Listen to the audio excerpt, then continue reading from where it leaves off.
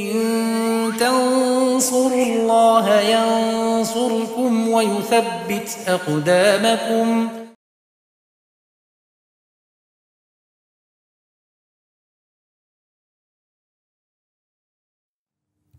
الحمد لله رب العالمين والعاقبة للمتقين ولا عدوان إلا على الظالمين.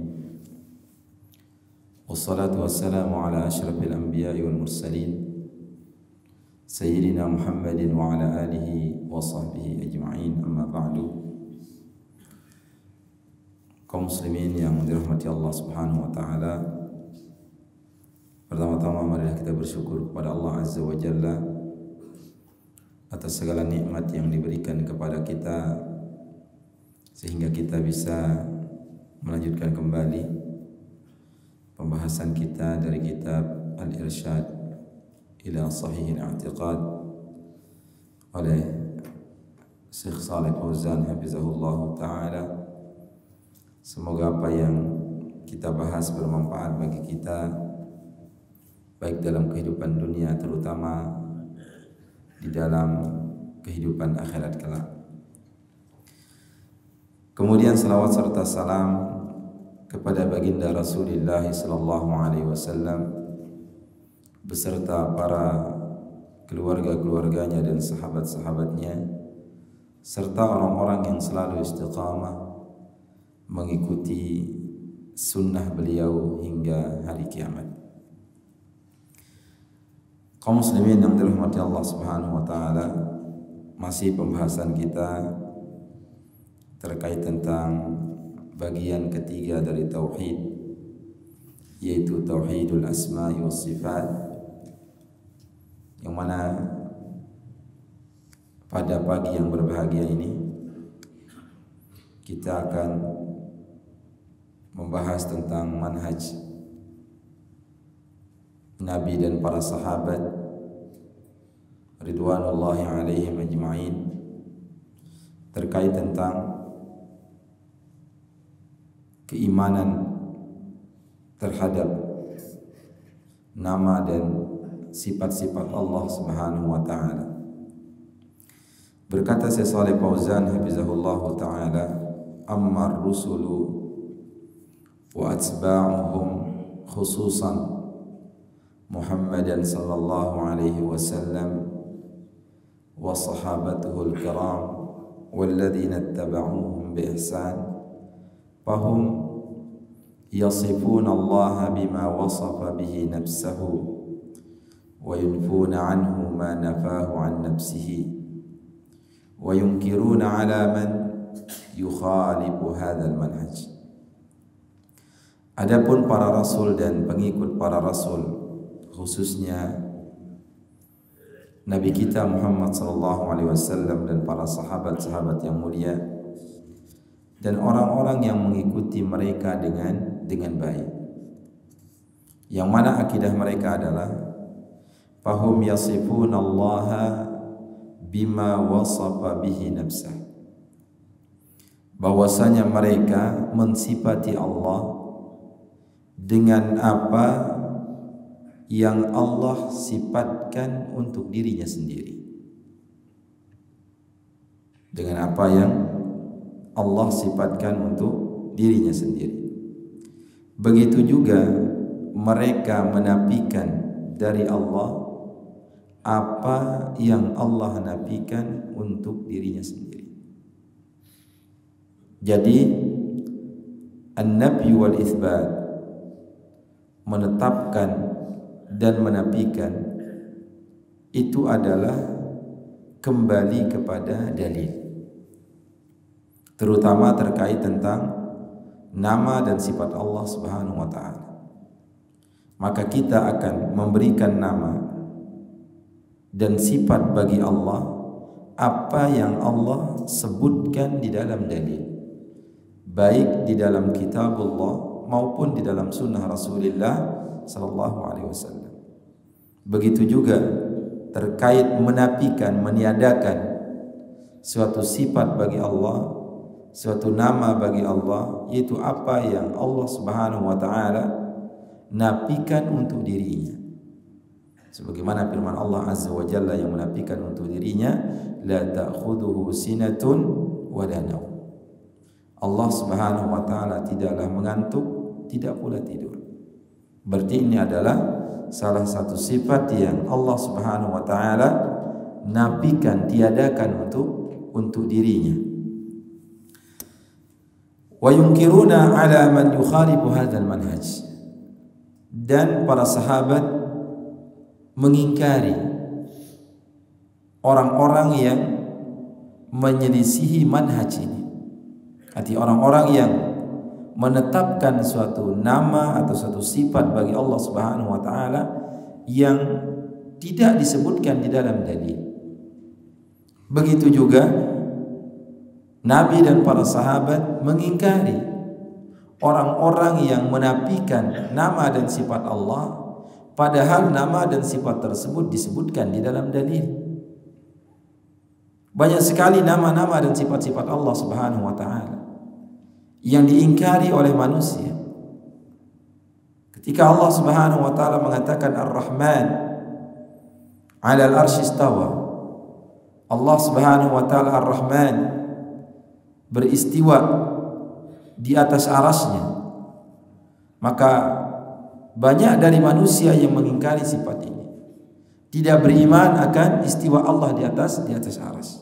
Tidak beriman akan Allah Subhanahu wa taala di atas. Sehingga mereka menafikan atau mentakwilkan dengan takwilan yang ba yang batil. Maka dari itu kaum muslimin yang dirahmati Allah, terkait tentang nama dan sifat Allah harus benar-benar kita kita pahami. Supaya kita tidak terjatuh kepada penyimpangan terkait tentang nama dan sifat-sifat Allah Subhanahu Subhanahu wa taala. Karena terkait tentang hal ini adalah perkara yang pokok perkara yang sangat harus kita pahami, perkara yang sangat inti dimasukkan oleh para ulama bagian dari tauhid kita, bagian dari keimanan kita kepada Allah Subhanahu wa taala yaitu kita menetapkan apa-apa yang Allah tetapkan untuk dirinya terkait tentang nama dan sifatnya begitu juga kita menafikan apa-apa yang Allah nafikan untuk dirinya terkait tentang suatu nama dan dan sifat. Faqad rawa Abdul Razzaq. Maka telah di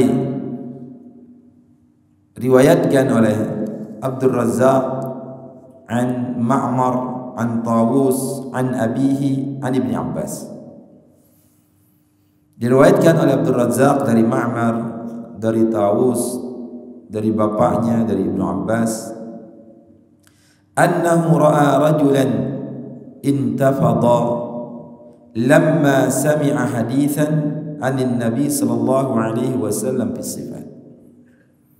Bahwasanya Ibnu Abbas radhiyallahu anhuma beliau melihat seorang laki-laki yang gemetar gemetar ketika mendengar suatu hadis dari Nabi sallallahu alaihi wasallam terkait tentang tentang sifat. Kenapa dia gemetar? Ketika mendengar hadis tentang sifat-sifat Allah istingkaran didalik karena dia mengingkari. Dia gemetar. Ketika mendengar sifat-sifat Allah Subhanahu Subhanahu wa taala. Faqal maka Ibnu Abbas mengatakan Ma faraqa haula Apakah yang menakutkan orang-orang tersebut? Yajiduna riqatan inda muhkamih. Mereka mendapatkan kelembutan ketika terkait tentang ayat-ayat yang muhkam, ayat-ayat yang jelas maknanya. Kemudian wayahlikuna inda mutasyabihi. Kemudian mereka celaka binasa ketika mereka berhadapan dengan ayat-ayat mutasyabih. Yushiru radhiyallahu anhu ila unasin yahduruna majlisahu min amatin nas Ibnu Abbas radhiyallahu anhu memberikan isyarat kepada orang-orang yang menghadiri majelisnya dari amatin nas. Dari orang-orang secara umum. Yang mana mereka? Bi'annahum idza sami'u syai'an min nusus sifat wa hiya min al-muhkam yang mana mereka? Apabila mendengar sesuatu dari nas-nas sifat dari ayat-ayat yang menyebutkan sifat-sifat Allah yang mana ayat-ayat yang menyebutkan sifat-sifat Allah itu adalah ayat yang muhkam. Ayat yang jelas maknanya yang dipahami. Hasala maka kebanyakan dari mereka terjadi farak terjadi ketakutan wantafadu kal munkirina laha dan mereka gemetar ketika mendengar ayat-ayat sifat mereka gemetar seperti orang-orang yang mengingkari akan ayat-ayat sifat tersebut. Sehingga banyak dari manusia memasukkan ayat-ayat yang terkait tentang nama dan sifat Allah ke dalam ayat-ayat mutasyabihat. Ar-Rahman 'alal istawa. Ini ayat mutasyabihat. Ini jelas dipahami. Ayat-ayat yang berbicara tentang sifat Allah itu ayat yang jelas. Bukan ayat mutasyabihat yang dipahami maknanya, yang diketahui maknanya. Maka harus kita pahami akan akan hal ini.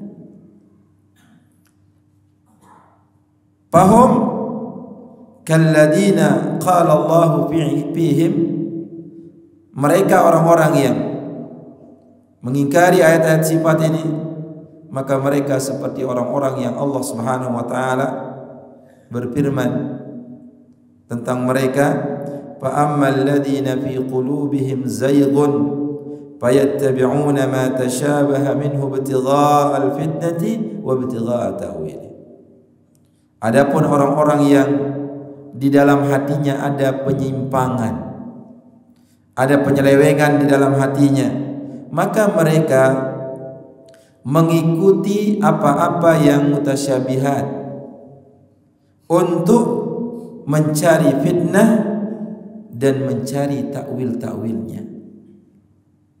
Wa ma ya'lamu ta'wilahu illallah dan tidak ada yang mengetahui takwilnya kecuali Allah Subhanahu wa taala. Yang mana orang-orang ini adalah orang-orang yang fayad'unal muhkam wa yattabi'unal mutasyabih. Mereka orang-orang yang meninggalkan ayat-ayat yang sudah jelas, ayat-ayat yang muhkamat dan mereka mengikuti ayat-ayat yang mutasyabihat wa yu'minuna bi ba'dil kitab wa yakfuruna bi ba'd. Dan mereka beriman kepada sebagian kitab dan mereka kupur kepada sebagian yang lain. Dan banyak manusia yang terjatuh dalam perkara ini para jemaah yang dirahmati Allah. Sehingga ketika datang ayat-ayat sifat atau hadis-hadis yang berbicara tentang sifat Allah, mereka berusaha mentakwil, mempelintir dengan makna yang begitu jauh. Sebagai sebuah penolakan akan nama dan sifat Allah. Ketika Allah berbicara tentang bahwasanya Allah memiliki tangan maka mereka menolak akan hal tersebut. Allah tidak memiliki tangan. Tangan yang dimaksudkan di sini adalah kekuasaan. Ketika Allah menyebutkan dirinya turun oh Allah tidak turun. Yang turun adalah utusannya. Yang turun adalah malaikatnya. Yang turun adalah rahmatnya. Ditakwil dengan tujuan untuk menolak ayat-ayat sifat menolak ayat-ayat dan hadis-hadis yang berbicara tentang nama dan sifat Allah. Maka dijelaskan oleh Syekh di sini para jemaah yang dirahmati Allah wa nususus sifati minal muhkam la minal mutasyabih nas-nas sifat ayat-ayat sifat dalil-dalil yang berbicara tentang sifat-sifat Allah itu masuk ke dalam ayat-ayat muhkamat ayat-ayat yang sudah jelas maknanya bukan masuk ke dalam ayat-ayat yang mutasyabihat Karena ada orang yang mengatakan bahwasanya dalil-dalil yang berbicara tentang sifat-sifat Allah itu masuk ke dalam ayat-ayat yang mutasyabihat. Tidak, itu adalah ayat yang muhkam. Ayat yang jelas maknanya. Yaqra'uha al-muslimuna wa yatadarasunaha wa yafhamuna ma'naha wa la yunkiruna minha syai'a. Yang mana ia ayat-ayat yang harus dibaca oleh kaum muslimin yang mereka mempelajari ayat-ayat tersebut mereka memahami maknanya dan tidak mengingkari sedikit pun dari sifat-sifat Allah Subhanahu wa taala. Kemudian kita ingin merubah menafikan sifat bagi Allah Azza wa. Maka dari itu para jemaah yang dimati Allah harus benar manhaj kita, cara kita beragama terkait tentang nama dan sifat sifat Allah. Apa yang Allah sebutkan di dalam kitabnya kita imani. Kita tetapkan apa yang Allah tetapkan untuk dirinya dan kita tiadakan apa yang Allah tiadakan untuk dirinya. Sehingga jangan terbalik. Kita menafikan apa yang Allah tetapkan untuk dirinya dan kita tetapkan apa yang Allah Subhanahu wa taala nabi nafikan. Maka ayat-ayat sifat, dalil-dalil tentang sifat-sifat Allah sudah sudah jelas. Maka kita imani sesuai dengan dengan dalil tersebut. Allah mengatakan dirinya beristiwa di atas arasnya. Maka kita imani Allah Subhanahu wa taala beristiwa di atas di atas aras. Allah Subhanahu wa taala menyebutkan dirinya di atas, kita imani bahwasanya Allah Subhanahu wa taala berada di di atas. Dan itu pertanyaan Nabi kepada seorang seorang jariah. Yang mana jariah ini adalah seorang pengembala kambing. Yang jauh. Kemudian kambing tersebut ada yang dimakan oleh serigala kemudian tuannya kecewa akan hal tersebut sehingga dia dipukul, ditempeleng Kemudian diceritakan hal tersebut kepada Rasul sallallahu alaihi wasallam. Kemudian Nabi yu'azzimu dzalika alaihi katanya. Yang membesarkan perkara itu. Kemudian dia ingin memerdekakan budak tersebut. Kemudian Nabi mengatakan kepadanya, "Coba panggil dia." Maka dipanggillah budak tersebut. Kemudian ditanya oleh Nabi sallallahu alaihi wasallam, "Aina Allah?" Di manakah Allah? Padahal ini seorang budak pengembala kambing di tempat yang jauh. Di dekat Uhud sana. Maka ia menjawab ketika ditanya tentang aina Allah, di manakah Allah? Dia mengatakan fis sama. Kemudian Nabi lagi bertanya, "Man ana? Siapa saya?" Maka wanita ini mengatakan anta Rasulullah engkau adalah utusan utusan Allah apa kata Nabi sallallahu alaihi wasallam kepada tuannya i'tiqha fa innaha mu'minah bebaskan ia merdekakan ia karena sungguhnya dia benar-benar beriman. Artinya sekelas seorang budak yang tinggal di sahra sana jauh dari kota jauh dari keramaian mengetahui Allah bersama apalagi sahabat-sahabat yang lain yang banyak bergaul dengan Rasul sallallahu alaihi wasallam. Banyak dari kita para jemaah yang dirahmati Allah memiliki tingkat kemajuan yang luar biasa ilmu yang begitu tinggi tapi tidak tidak mengetahui di mana Allah karena sudah masuk ke dalam kepalanya syubhat. Coba kita imani dalil yang datang, semua yang datang dari kitabullah dan dari sunnah Nabi sallallahu alaihi wasallam terutama terkait tentang nama dan sifat Allah tidak repot kita hidup ini. Kenapa kita susah di dalam kehidupan ini? Karena apa?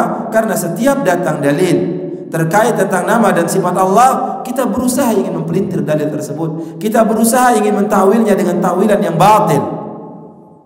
Sehingga banyak dari kita menafikan, membuang nama dan sifat Allah Subhanahu Subhanahu wa taala. Terkait tentang dalil bahwasanya Allah di atas itu begitu banyak dalilnya. Kadang-kadang orang yang menolak tentang Allah di atas pun ia secara tidak sadar mengakui akan hal tersebut. Dia berbicara menuju ke atas. Mari kita mengetuk pintu langit. Mari kita kembalikan kepada yang ada di atas. Padahal ia sendiri menolak akan hal tersebut, tapi fitrahnya sulit ia ia kendalikan. Maka dari itu kaum muslimin yang dirahmati Allah kembali lagi. Mari kita mempelajari terkait tentang nama dan sifat Allah dengan pemahaman yang benar dengan manhaj yang yang benar supaya kita tidak tergelincir terkait tentang nama dan sifat sifat Allah. Qala Waqi' berkata Waqi' adrakna al-a'mash wa Sufyana yuhaddithuna bi hadhihi al-ahadith yani ahadithu sifat wa la yunkirunaha intaha. Berkata Waqi' kami mendapatkan A'mash mendapatkan Sufyan yang mereka berbicara menyampaikan hadis tentang hadis-hadis sifat dan mereka sama sekali tidak mengingkarinya. Wa inna ma yang yang kiruha al-mubtadi'atu min al-jahmiyah wal mu'tazilah wal asy'ariyah alladziina saru ala manhaj musyriki Quraisy akan tapi yang mengingkari hal ini adalah yang mengingkari terkait ayat-ayat sifat tentang sifat-sifat Allah yaitu para ahli bidah. Baik dari kalangan Jahmiyah atau Mu'tazilah atau yang lainnya yang mereka berjalan di atasnya orang-orang musyrikin di zaman Quraisy. Yang mana orang-orang musyrikin ketika itu? Alladzina yakfuruna birrahman wa yulhiduna fi asma'illah yang mereka orang-orang yang mengingkari Ar-Rahman yang mengingkari Allah Subhanahu wa taala yang Maha Pengasih dan mereka melenceng terkait tentang nama-nama Allah Subhanahu wa taala. Sebagaimana Allah Subhanahu wa taala berfirman, "Walillahil asmaul husna fad'uhu biha." Allah Subhanahu wa taala memiliki nama-nama yang begitu indah. Asma memiliki nama-nama yang begitu indah. Pada'uhu biha maka berdoalah dengan nama-nama tersebut. Kita diperintahkan untuk bertawassul dengan nama-nama Allah ketika kita berdoa. Kita sebutkan Allahumma gfirli warhamni innaka antal ghafurur rahim. Ya Allah ampunilah aku. Rahmatilah aku. Sesungguhnya engkau adalah maha pengampun lagi maha kasih kasih sayang. Kita pakai berdoa kepada Allah Subhanahu wa taala dengan nama-nama dan sifat-sifat Allah. Kita ingin minta rezeki kepada Allah. Kita sebutkan ya Razzaq ya Fattah ya Allah yang maha memberi rezeki. Maka urzuqni berikanlah rezeki kepada aku. Wa dharul ladzina yuhiduna fi asma'ihi. Maka tinggalkanlah orang-orang yang menyimpang terkait tentang nama-nama Allah. Maka orang-orang yang menyimpang ini akan mendapatkan apa? Sayujzauna ma kanu ya'malun. Mereka akan diberikan balasan sesuai dengan apa yang mereka kerja kerjakan. Yang mana di dalam ayat ini fa athbata li nafsihi al husna. Bahwasanya Allah Subhanahu wa taala menetapkan untuk dirinya nama-nama yang indah. Wa amara an yud'a biha. Dan Allah memerintahkan untuk kita berdoa dengan nama-nama tersebut.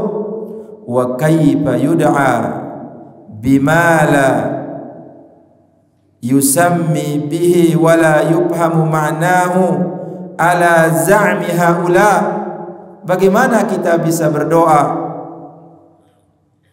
dengan sesuatu yang tidak punya nama, dengan sesuatu yang tidak kita pahami maknanya. Ala za'mi haula menurut anggapan orang-orang yang menyimpang terkait tentang nama-nama dan sifat-sifat Allah Subhanahu wa taala. Bagaimana Allah akan memerintahkan kita untuk berdoa, meminta dengan sesuatu yang tidak kita pahami. Inilah dia kaum muslimin yang dirahmati Allah Subhanahu wa taala. Kemudian wa tawa'ada alladziina yulhiduna fi asma'ihi.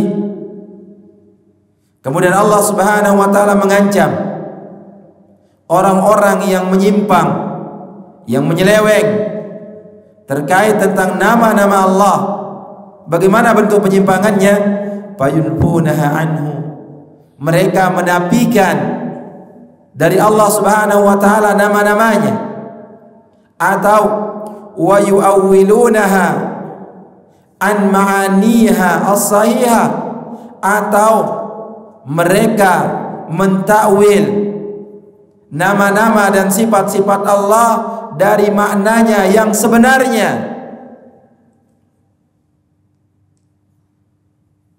mereka mentakwil merubah nama-nama dan sifat Allah dengan alasan supaya selamat. Tapi itulah yang menjadikan mereka menyimpang.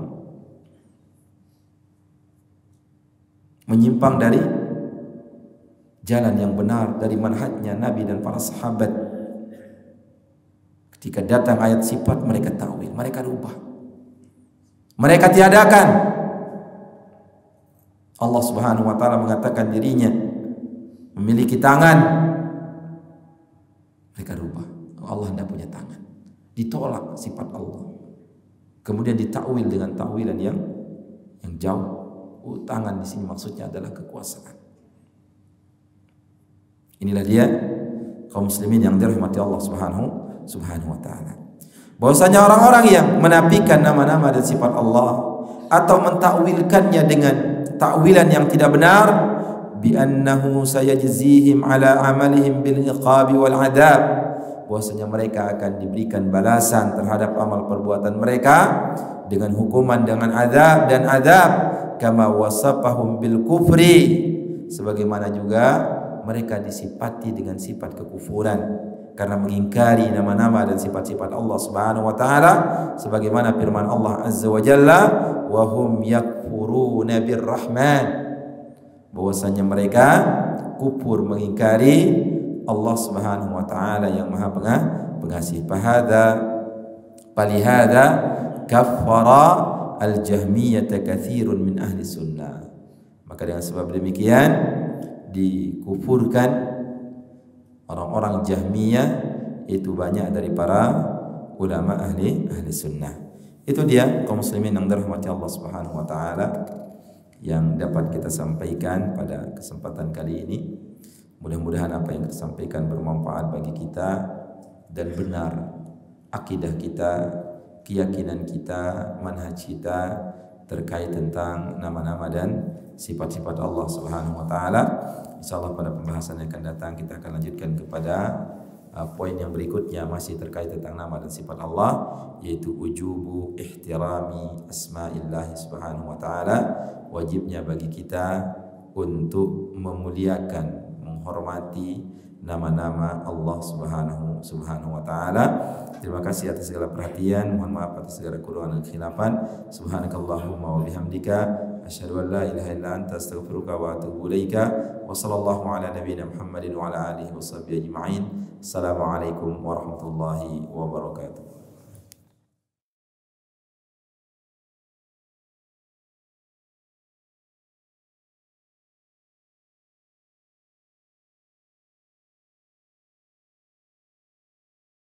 إن تنصروا الله ينصركم ويثبت أقدامكم